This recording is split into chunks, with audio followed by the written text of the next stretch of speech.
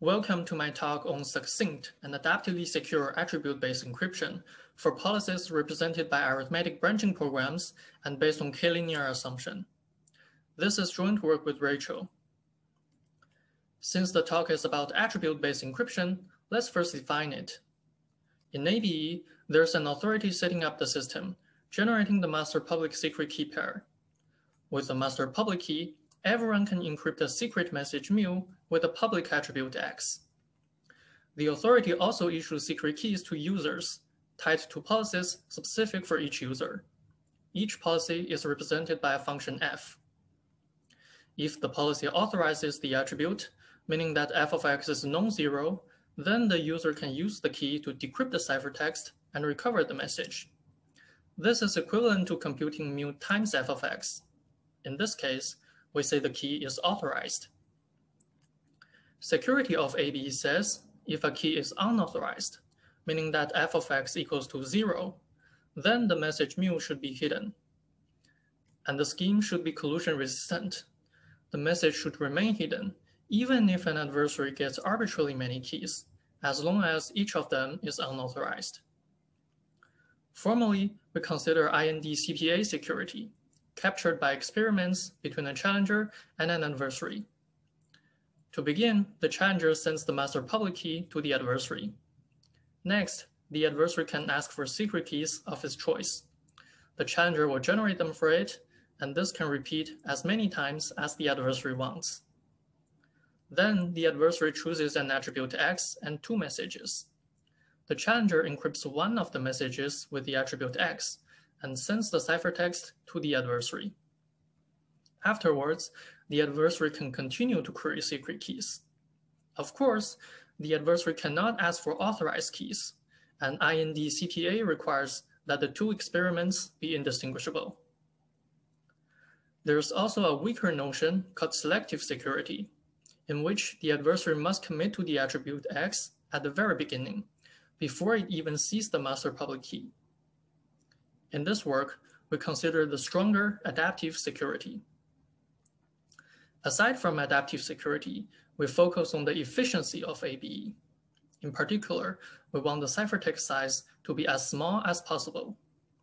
It turns out that most existing ABE schemes achieve ciphertext size linear in the attribute length and the message length.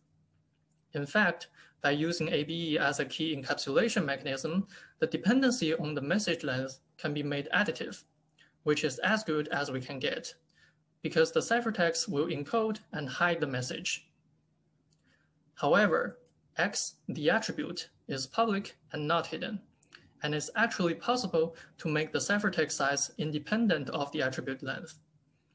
Such ABE schemes are said to be succinct. Note that this will not break correctness, because the decryption algorithm will always get X, which is stored and transferred in the clear. Achieving succinctness is interesting for both theory and practice so that we can use potentially very long attributes without incurring overhead in disk space or network bandwidth. In this work, we obtain succinct ABE that supports expressive policies, enjoy adaptive security, and is based on standard assumption. Our scheme is based on the matrix decisional Diffie-Hellman assumption in pairing groups, which is implied by the k-linear assumption. It supports policies represented by arithmetic branching programs, and the ciphertext size is 2k plus 2 number of source group elements and one target group element. The scheme is concretely efficient. If we instantiate our scheme based on SXDH, which basically says k to be 1, then the ciphertext is just four group four source group elements plus one target group element. The plain text space in our scheme is the target group, and it easily extends to handle arbitrary messages by the KEM trick. In addition, we also consider ciphertext policy ABE, where attributes are tied to the keys and the policies to the ciphertexts. Our CPABE has succinct keys, consisting of 3K plus 4 source group elements when based on MDDHK. Let's compare our KPABE with some previous succinct ABE schemes. This is definitely not an exhaustive list. The works by Attrapadung and Zhang et al. construct succinct ABE for monotone span programs. But the schemes either rely on non-standard assumptions, such as Q-type assumption, or are only selectively secure. The recent work of Tomida et al. constructed succinct and adaptive ABE for NC1 policies based on MDDHK. Our work constructs succinct and adaptive ABE for ABP. Aside from subsuming NC1, our scheme is the first succinct ABE natively supporting arithmetic computation, whereas both MSP and NC1 are Boolean. How do we construct our ABE scheme? Our starting point is the framework of our previous work appearing in Eurocrypt. It uses a computational tool, function hiding inner product functional encryption, or IPFE for short. It also needs an information theoretic tool called Arithmetic Key Garbling Scheme, or AKGS, which is a special randomized encoding. By combining the two ingredients, we obtain a one key, one ciphertext secret key ABE, or 1ABE for short. With some additional effort, it can be upgraded to full-fledged ABE. This framework is used to obtain compact and adaptive ABE, where the ciphertext size grows with the attribute length. However, it cannot be used as is to obtain succinct ABE. Because of the function hiding property of IPFE, its keys and ciphertexts cannot be succinct, which is inherited by the ABE. We'll see why later in the talk. To overcome this issue, we replace the function hiding IPFE by a public key IPFE, which is not function hiding. Instead, it satisfies a new security property we propose in this work, called gradual simulation security. It's possible to have succinct keys in such a scheme, which eventually translates to succinct, ABE. As a consequence of replacing the IPFE, our 1ABE also changes. What we obtain from the new two ingredients will be a ciphertext policy 1ABE, which is a public key scheme. By using the well-known techniques of dual system encryption or hash-proof systems, we'll simultaneously switch the roles of keys and ciphertexts and upgrade 1ABE to full ABE. So we'll obtain KPABE from CP1ABE. To see this more clearly, let's first review the ideas from the previous work. In 1ABE of the previous work, the message and the policy are associated with the key, and the attribute with the ciphertext. When they're put together, we'll obtain a randomized encoding of mu times f of x, which is our AKGS. The encoding can then be used to recover this value.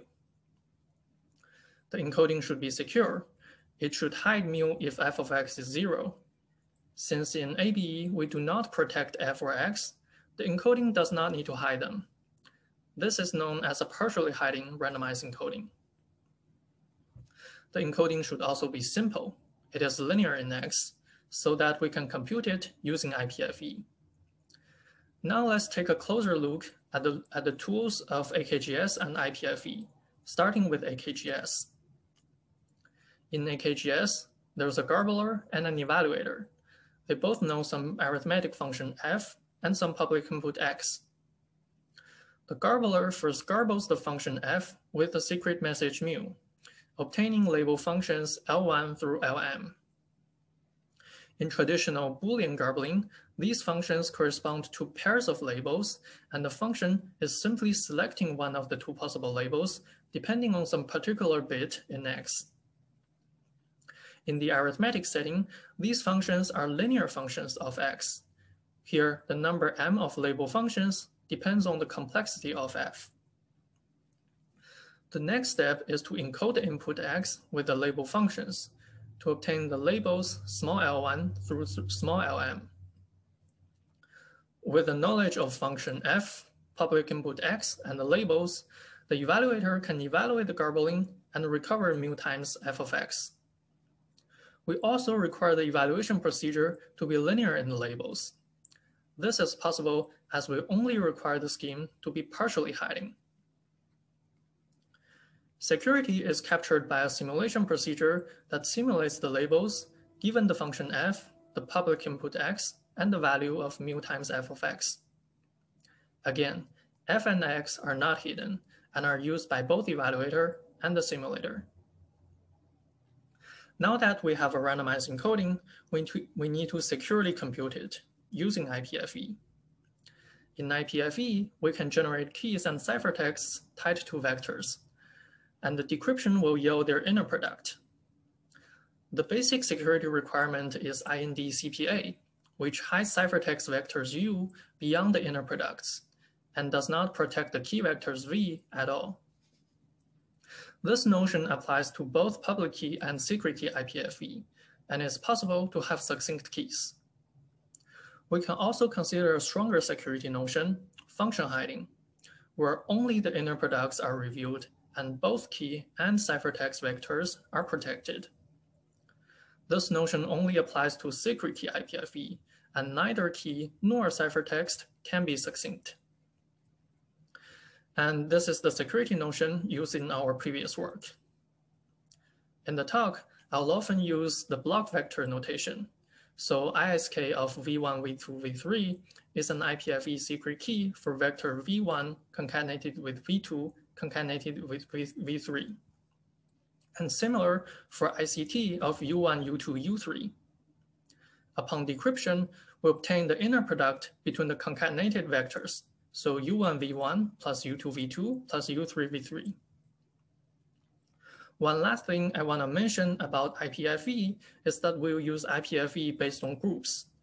And decryption will give us the inner product and the exponent, denoted in the double brackets. With the tools of AKGS and IPFE, let's come back to the framework of our previous work. Recall that when the key and the ciphertext are put together, we'll first compute a randomized encoding of mu times f of x.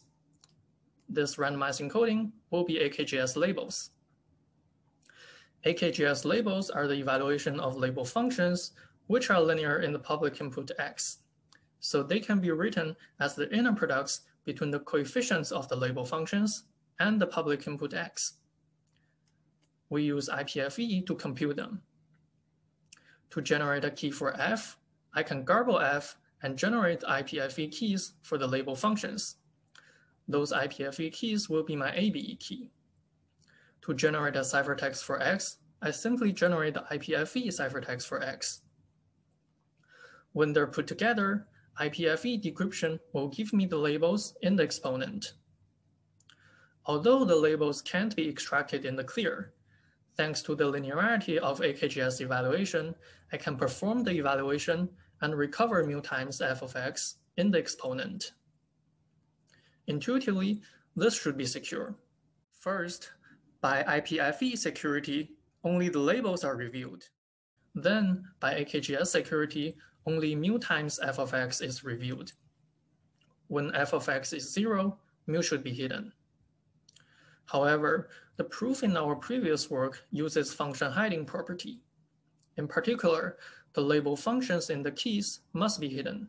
Otherwise, there seems to be no way to apply AKGS security. However, using function hiding means the scheme cannot be succinct, and the ciphertext size will grow with the length of x. Okay, so we want to avoid function hiding. Our first idea is to use an IPFE without function hiding. Since we don't require function hiding, we can also just use a public key IPFE. Again, in order for the security to hold, the label functions must still be hidden. So we'll put them in IPFE ciphertexts and put X in IPFE key because it's public and not hidden. Now we have swapped the roles of key and ciphertext, different from our previous work. Actually, everything just feels more harmonious now the message is associated with the ciphertext, and since the IPFE is public key, the 1ABE scheme is also public key. And naturally, it's a ciphertext policy 1ABE. I want to emphasize that we're still only considering one key security, so it's still 1ABE. Now, if the underlying IPFE has succinct keys, our, one, our CP1ABE automatically inherits the succinctness. Eventually, this will translate to succinct ciphertext in full-fledged key policy ABE. And we do know public key IPFE with succinct keys from the work of Agrawal et al. What about security? It turns out that selective security is a piece of cake. Here, selective security means the adversary queries X then F, so it's first key, then ciphertext. However, adaptive security, or F then X, is very tricky, even more so than our previous work. Let's first do the easy one. In the honest algorithm, we have ISK of X, then ICT of the label functions. Here, I added an extra slot for the proof, and the honest algorithm will put a 1 in the key. The inner products are the labels. Recall that the label functions are created using mu, and we want to show mu is hidden. To do so, we first remove the label functions and hardwire all the labels. When generating the ciphertext, instead of encrypting the label functions, I'll encrypt the labels in the extra slot. I know both X and the label functions, so I can evaluate the label functions to obtain the labels. Note that the inner products are still these labels, thus unchanged. So we can simply rely on the IND CPA security of IPFE. Now we only use labels as opposed to label functions. The next step is to play our AKGS card and simulate the labels. Since the adversary cannot query authorized keys, we know f of x is zero, and this hybrid does not contain information about mu, and mu is hidden. This is all good. What about the other case, f then x? Well, the proof breaks down in the very first step. When generating the ciphertext, we don't know x yet, so we cannot compute the labels and consequently cannot hardwire them into the ciphertext. An obvious yet naive attempt is to hardwire the labels in the key instead. We can further enlarge the vector dimension, and in the hybrid, we put ones in different positions in the ciphertext and other labels in the key. But this doesn't quite work for two reasons. First, we're hardwiring too much information into the key. Second, we're resorting to function hiding to hide the fact that the labels are hardwired in the key. Either of them will lead to non-succinct keys and defeat our purpose. Fortunately, they can be solved. Let's start from the problem of hardwiring too many values. In our previous work, we have formulated a strong security notion for AKGS called piecewise security. This allows us to hardwire fewer values, and it has two requirements. First, each label except for the first one must be marginally random, even given all subsequent label functions. By label functions, we mean their coefficients. Second, the first label, L1, can be solved from the correctness equation, which is a linear constraint over the labels.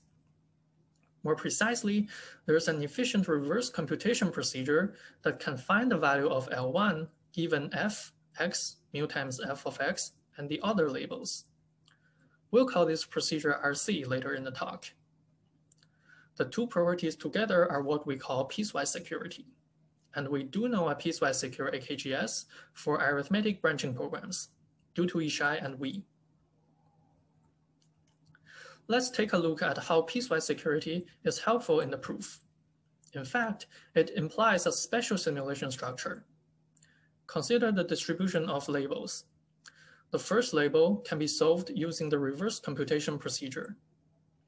Once we're not using the first label function, we can use marginal randomness to simulate the second label as random. Marginal randomness can then be repeatedly applied until all the labels, except the first, are simulated as random. In the simulation, we're sampling L2 to Lm as random, then solve L1 from f, x, mu times f of x and the other labels we just sampled ourselves. We can translate label simulation into one ABE simulation, and we need two additional dimensions. In the simulation, we'll put all the labels except the first in IPFE ciphertexts, and the first label in the key. All but the first labels are random. They do not depend on X, so can be sampled before X is chosen. The first label is reversely computed and will make evaluation appear correct. In order to prove real and simulation are indistinguishable, we do hybrids. In the first hybrid, we hardwire L1 into IPFE key, relying on IPFE security. Once hardwired, L1 is switched from honestly evaluated to reversely computed. Then we'll switch the label functions to random labels one by one. Suppose we have switched the second to the j minus first label functions into random labels, as shown in hybrid j. Our task is to move to hybrid j plus 1, where the jth label function is switched to a random label. For this, we temporarily hardwire the honestly evaluated label lj into IPFE key, relying on IPFE security. Then we can invoke marginal randomness to replace lj by random. Now that Lj is independent of X, it can be moved back to the ciphertext, again relying on IPFE security. This completes the transition. As we can see, using piecewise security, we only need to hardwire two values in the key, which is quite affordable. However, we're still using function hiding to hardwire the labels L1 and Lj in the key, which is a deal breaker. Now comes our next idea. We'll use simulation security to replace function hiding. Let's define adaptive simulation security. Given a simulator, consider two experiments. One is real, the other is simulation. At the beginning, IPFE master public key is given to the adversary, either real or simulated. We use tildes to represent simulation. Next, the adversary can query IPFE keys of vectors of his choice. The keys can be real or they can be simulated. In this stage, the simulator only gets the key vectors as input. Then, the adversary can query an IPFE ciphertext for one vector u of its choice. It's either real or simulated. If it's simulated, the simulator does not get the vector u. Instead, it gets the inner products of U and all vectors in previously queried keys, because the ciphertext will be decrypted to those values by those keys. Afterwards, the adversary can query keys again. If the key is simulated, the simulator gets the inner product between U and the key vector in addition to key vector itself. This is because the key needs to decrypt the simulated ciphertext to the correct inner product. Simulation security requires the two words be indistinguishable. Note that in the post-challenge stage, the simulator will necessarily hardwire the inner products in the keys. The definition is all good, but can we achieve simulation security? The answer is yes. And in fact, the scheme by Agrawal et al. is indeed adaptively simulation secure. The definition also naturally generalizes to any constant number of simulated ciphertexts. In adaptive security, the input to the simulator will be quite different depending on the progress of the experiment. Instead of digging into the complicated definition, it's simpler to use this rule of thumb that the simulator uses an inner product only when this inner product can be decrypted. So much for simulation security. Let's come back to the proof and fix it. Recall that the previous proof uses function hiding to hardwire L1 into the key. With simulation security, we'll instead simulate the first IPFE ciphertext. When simulating this ciphertext, we do not need to supply anything to the simulator because there are no keys to decrypt it. Only when simulating the key later do we need to supply the desired inner product to the simulator. This inner product is simply the first label, and remember that at this point, X is known. Now let's look at the hybrids for switching one label function to random label. Again, we need to switch the jth label function. In order to do this, we temporarily simulate one more ciphertext, namely the, J, the jth one. When the jth ciphertext is simulated, nothing is supplied to the simulator. And when we simulate the key, we need to supply both the first label and the jth label. because that key will decrypt those two simulated ciphertexts. This achieves the effect of removing the jth label function and hardwiring the jth label. So the same trick of AKGS marginal randomness applies. After LJ becomes random, we just undo the simulation for ICTJ. Cool. We're using at most two simulated ciphertexts during the proof. And it seems that we can materialize our idea with a simulation-secure IPFE supporting two simulated ciphertexts. However, there's a subtle issue. The issue is on simulating one more ciphertext in the presence of other simulated ciphertexts. The usual definition of simulation security only stipulates indistinguishability between real and simulation. Even if the simulator supports more than one ciphertext, the definition only allows us to switch on or off simulation in one shot. However, what we really need in the proof consists of two parts, real and simulating one indistinguishable, and simulating one and simulating two indistinguishable. It's precisely the second part that is missing from the usual definition. Enter gradual simulation security, our strengthened version of simulation security. The notion is parameterized by a bound t, the maximum number of simulated ciphertexts. Still, we have two worlds. In both worlds, the adversary is given the master public key, simulated. The adversary can query simulated keys and ciphertexts. Then the adversary chooses the vector u.